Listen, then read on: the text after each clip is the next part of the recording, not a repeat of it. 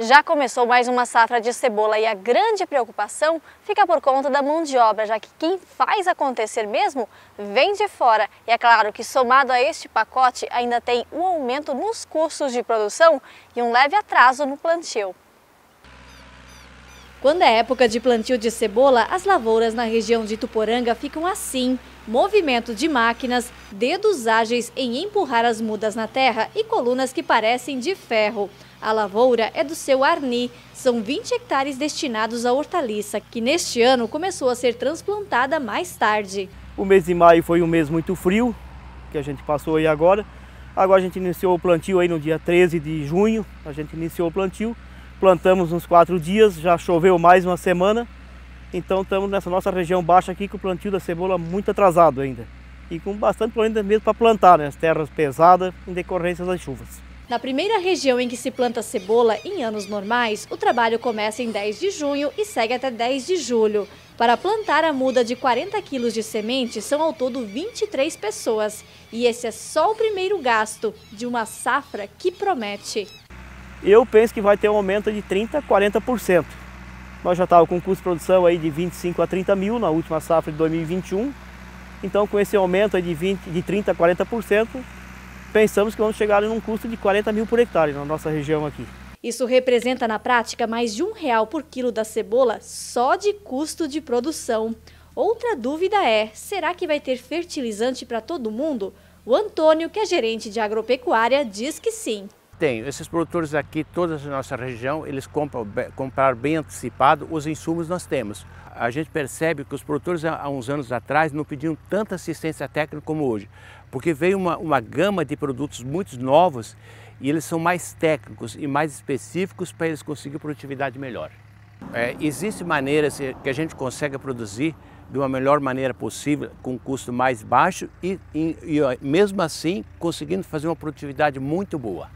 Todos os anos, mais de 3 mil trabalhadores temporários vêm para esta região de Ituporanga, que é a principal produtora de cebola em Santa Catarina. Só que os produtores precisam ficar atentos, principalmente por causa da fiscalização do Ministério do Trabalho. Se as propriedades são consideradas pequenas empresas, a exigência de que todos os funcionários, independente se trabalham um dia, dez dias ou um mês, estejam registrados. Esta turma, por exemplo, veio de Pernambuco e tem três patrões diferentes durante o plantio. Já vim para cá há três anos. Bom aqui trabalhar, né? A gente sai do Pernambuco para ganhar um pouco aqui, né? Lá o serviço é mais, mais pouco. Aqui dentro de três meses aqui nós faz 12 mil reais por aí. Lá eu faço seis só. Ah, a minha história lá é meio complicada. Lá eu não trabalho, eu trabalho mais aqui, desde o no 19 anos eu venho para cá, porque lá é uma escassez de serviço, aí como aqui já é garantido, eu venho sempre para cá, todo ano que posso. Um pouco empuxado, mas dá para aguentar, não é tão difícil não, dá para ir levando. O ganho é por produção, R$ 7,00 para cada mil pés plantados. A média entre os funcionários fica entre 20 e 25 mil pés por dia, o que rende até 175 reais. Mas tem quem plante acima de 40 mil pés. Para quem trabalha nos canteiros, o valor é de R$ 6,00 a caixa, uma média de 120 reais no dia. Os primeiros trabalhadores nordestinos vieram para a região de Tuporanga ao acaso, lá na década de 80. O rendimento maior fez com que ano a ano o número aumentasse, até chegar ao que vemos hoje. E junto aumentou também a fiscalização pelo cumprimento da lei trabalhista. Existem situações que elas são passíveis de serem regularizadas de um dia para o outro, mas outras, como a adequação da propriedade, os alojamentos, elas dependem de um tempo para os produtores adequarem. Então, o primeiro passo é buscar uma assessoria jurídica, é buscar um advogado que vai formalizar a parte de contratação e que vai orientar os agricultores sobre os demais passos. Depois dessa parte com os advogados, os produtores eles devem procurar um escritório de segurança e medicina do trabalho. Esse escritório ele vai ser responsável sobre a emissão dos atestados admissionais e demissionais, sobre a questão dos equipamentos de segurança que os trabalhadores rurais precisam utilizar, que eles inclusive são de uso obrigatório, e também quanto aos laudos da propriedade em si, quanto ao alojamento, tudo que a NR31 exige dos produtores. E por último, os produtores eles devem procurar um escritório de contabilidade. Esse escritório ele vai ser o responsável por fazer a regularização, a formalização e a baixa dos contratos. A Fernanda explica ainda que normalmente a primeira exigência dos fiscais é o registro, mas não é só isso.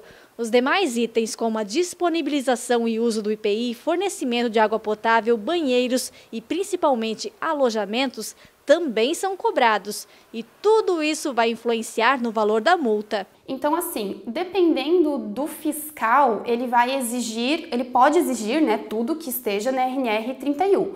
Mas dependendo de cada propriedade, ele vai eventualmente aplicar uma multa. Então, assim, não tem como nós precisarmos um valor mínimo ou um valor máximo. Vai depender de cada situação na propriedade, né? Já tivemos até conhecimento aqui de umas multas assim, extremamente exorbitantes, mas não existe um parâmetro, né? Uma das grandes queixas é que, registrando os funcionários em carteira, os agricultores perdem o direito à aposentadoria rural, pois desenquadram da condição de segurado especial. Existe uma possibilidade quanto à flexibilização disso, por causa de uma norma coletiva estabelecida em Convenção do Trabalho, com a inclusão apenas na GFIP, sem anotação na carteira. Mas essa convenção ainda não foi homologada. A expectativa é por um acordo, já que neste caso todas as partes saem ganhando. Tem algum plano com o dinheiro que faz aqui? Tenho. Estou construindo uma casa minha, se Deus quiser lá. Esse ano já vai dar para terminar ou ainda? Não, dá um ano que vem dá. Esse ano não dá ainda.